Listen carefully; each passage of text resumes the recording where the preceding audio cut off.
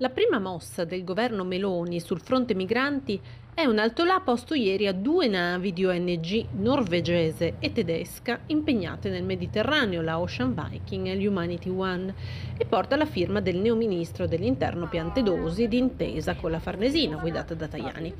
La direttiva in questione dice che le condotte delle due navi con un totale di 326 migranti a bordo già soccorsi non sono in linea con lo spirito delle norme europee e italiane in materia di sicurezza e controllo delle frontiere e di contrasto all'immigrazione legale di lì il divieto di ingresso nelle acque territoriali. Il documento rispecchia quello emanato nel marzo 2019 dall'allora ministro dell'Interno Salvini, quando Piantedosi era capo di gabinetto e al dubbio legittimo che possano tornare i porti chiusi, Piantedosi risponde con un laconico vedremo, anche se aggiunge la salvezza delle persone e l'approccio umanitario vengono prima di tutto.